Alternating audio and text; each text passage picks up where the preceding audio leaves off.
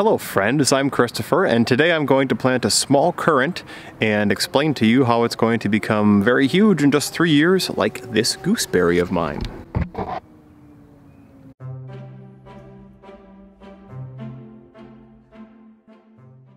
This is a moment that I started contemplating more than 1,000 days ago.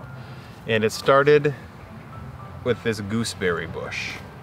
Before I actually get to planting the currant, let me just tell you a little gardening story because I have had so much fun planning this space since we moved in in 2013 that I've got a lot on my mind. I'm gonna offload it here to my friends on YouTube. So this garden started off very small and it underwent, let's say, three large expansions outward to be the 36 by 36 square that it is. 2015, the garden wasn't even to the level where this goose bush right, gooseberry bush right behind me is.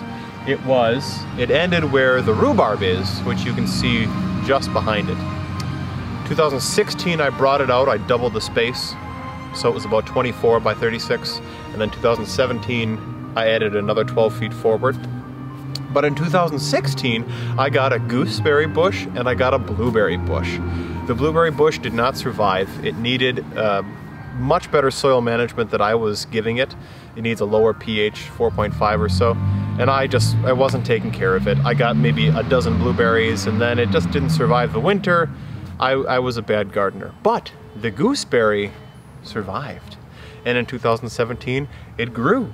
And in 2018, it was pretty much this size and it we had our first fruit crop. So three full years in all of 2016 all of 2017 and then in 2018 uh, we had fruit. And it's the same thing this year. It's even bigger and it's it's we've got flowers on it right now and I know we're gonna have a huge gooseberry bloom. Very very exciting. How does that relate to currants? Well they're both ribes. They're in the same family. And I didn't know currants existed. I didn't know they were a thing until 2008 when I was an international student in Germany and um, actually I got to meet some relatives of mine and they had a currant bush and they made a delicious cake and it had these red berries in it. I'm like, oh my gosh, what the heck are these? And I found out they were currants. So fast forward, you know, I thought, oh, this is a cool Germany thing. Tell friends about it, blah, blah, blah. Got married, found out my wife knows what currants are and she thinks they're amazing. So we knew we wanted to plant a currant. In fact, currants were a contender for what we might have planted first.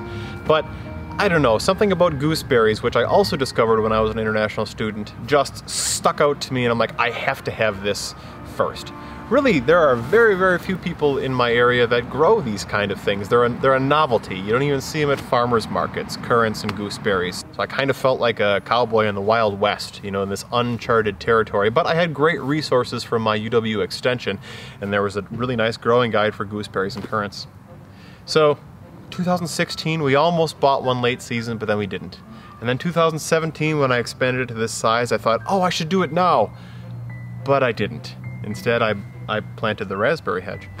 2018, it's like, oh, I should do it now. But I did all the raised beds. So now it's 2019, and I've got a lot of very established things, and the time is right to plant the currant. In fact, it's going to go right here in front of me. And I'm going to do exactly what I did with the gooseberry because you can consider them almost the same plant. They're in the same family. So this is my very simple method for planting currants. You can use the exact same method for gooseberries, should you like, and you'll get a wonderful result by the time they're mature. First off, I ordered my gooseberry and my currants from Stark Brothers Nursery. And when they come, they've got, um, they're wrapped in newspaper that's moist take them out when the temperatures, you know, uh, relatively in the, reliably in the 50s and above. I soak the roots in water for probably four or five hours. Uh, they really do dry up quickly so they soak up a lot of water. Get them soaked, uh, then you got to pick your plot of land. They are quite hardy and very cold tolerant, which is why we're growing them here in USDA Cold Hardiness Zone 5A, Wisconsin, United States. Um, I'm going to dig a hole that's probably 15 inches in diameter, which is more than I need. I'm going to rough up all the soil and then simply put the roots in and slowly fill the dirt in all around it. Pack it down tight to make sure that there's no air pockets. Obviously you do that for any kind of good rooted plant that you're getting in as a bare root transplant. I personally keep mine level with the ground for where the roots stop, level with whatever my walking surface is. You can actually put them a little bit below the ground level, I've heard. I haven't tried that myself. I'm gonna plant at ground level. And then lastly, on top, I put some compost. Now there's, there's a debate for whether you wanna mix compost into the soil or not. I choose not to. And the reason why is the same reason they tell you not to for bare root trees. Because in this first year, it's all about root growth. And you want these roots, you want a nice taproot to go down and these roots to expand and find their nutrients and their water source. But if you've got this, you know, 15 inch diameter hole with compost and all the nutrients right there, the roots really don't have much encouragement to do anything except this. You know, they stay where they are. And that's not healthy for the long-term success of the plant. Same with the long-term success of a tree.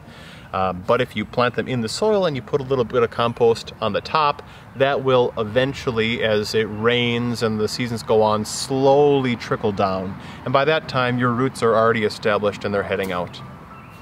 That's pretty much it. Um, as far as the important parts of establishing a currant. Um, if now in my case, as you can see here, the the plant itself came trimmed.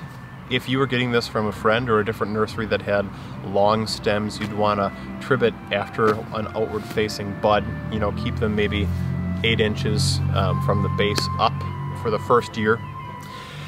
And other than that, that's all you do. And you'll see some greening up in the first year, as I know from the gooseberry, greening and a little bit of growth. Second year is a lot of growth, and then the third year you'll see even more growth and you'll see fruit. That's what I'm expecting with this currant too. So it's 2019 right now.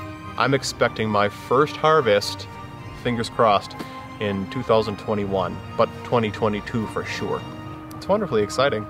If I can find any old footage, I'll show you the growth of the gooseberries. So here we can see the very first year when I put it in. You see how small it is, um, and you can see where it is relative to the rhubarb. That's pretty much your only reference point, and a little bit of the raspberries. Then 2017, look at how much it's grown.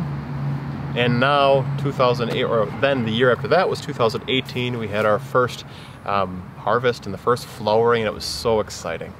And then here we are now. So I guess you can think of it as four years, 2016, 17, 18, and 19 until now, but really it was three years until we had our first harvest. You know, I've got a chuckle. Seeing this currant in the ground now reminds me of a comment that a friend made several years ago when we were planting our bare root trees and we had that, you know, nothingness of, of a, a gooseberry bush in there. The person said something along the lines of, oh yeah, your house is the one with a bunch of sticks planted in the yard. And uh, yeah, essentially that was that was true. Just these, you know, the whips of the fruit trees, essentially not even a full meter tall, just looked like sticks in the yard. And that's what this currant here feels like too.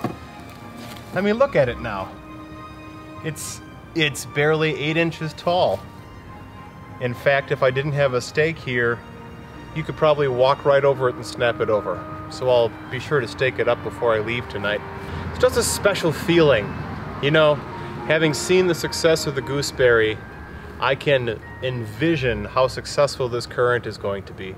And I picture myself sitting right here, well, probably shifted over a little bit there, but essentially right here three years from now and seeing all these beautiful um, bundles of red currants just ready to be harvested in the springtime and early summer.